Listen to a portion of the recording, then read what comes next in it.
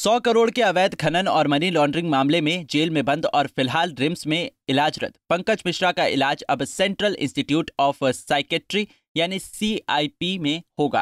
Police की निगरानी में उन्हें रिम्स से सीआईपी शिफ्ट कर दिया गया है। वहीं सीआईपी के निदेशक ने कहा कि इन्हें एक नशे की आदत लगी हुई है। उन्होंने कहा कि इन्हें कुछ शारीरिक परेशानी थी, जिसकी वजह से कुछ इंजेक्शन लेते रहे हैं। उनका जो विथड्रॉल सिम्टम्स होता है, उसको हम लोग दूसरे दवा से कंट्रोल करते हैं। और दूसरा है उनका विल पावर मोटिवेशन को बढ़ाया जाए और ये लिंक को समझाया जाए कि ये काफ़ी हद तक साइकोलॉजिकली रिलेटेड है। और तो फिर वो समझेंगे तो वो खुद भी कोशिश करेंगे या मोटिवेट होंगे इसको छोड़ने के लिए।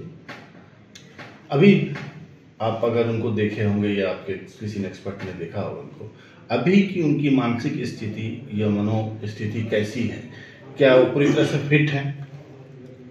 ये तो कहा नहीं जा सकता है क्योंकि हमें लगा कि आ, कुछ जिसको हम लोग एंजाइटी बोलते हैं उसका लक्षण है।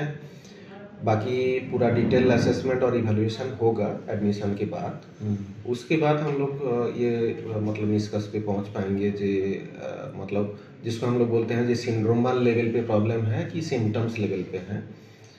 तो ये उसके बाद ही बता पाएँगे। अभी तो प्रिलिमिनरी है। लेकिन बच्चे से लगा जो हाँ थोड़ा सा एंजाइटी या टेंशन डिप्रेशन एंजाइटी डिप्रेशन का सिम्टम्स है। गौरतलब है कि रिम्स में अलग अलग विभागों के डॉक्टर उनका इलाज कर रहे थे। इसी बीच साइकेट्रिस्ट ने उनकी काउंसलिंग भी की। इसके बाद उनका इलाज भी शुरू किया गया। कुछ दिनों के बाद उन्हें इलाज के लिए सीआईपी ले जाने की सलाह देते हुए डॉक्टरों ने सीआईपी रेफर कर दिया था। इसके बाद भी वे रिम्स में ही जमे हुए थे। लेकिन अब उन्हें सीआईपी में भर्ती कराया गया जहाँ अब पंकज मिश्रा का इलाज चलेगा। रांची से आशुतोष सिन्हा की रिपोर्ट। हमसे जुड़े रहने के लिए हमारे YouTube चैनल को सब्सक्राइब करें और नई वीडियो की नोटिफिकेशन के लिए बेल आइकॉन को दबाएँ।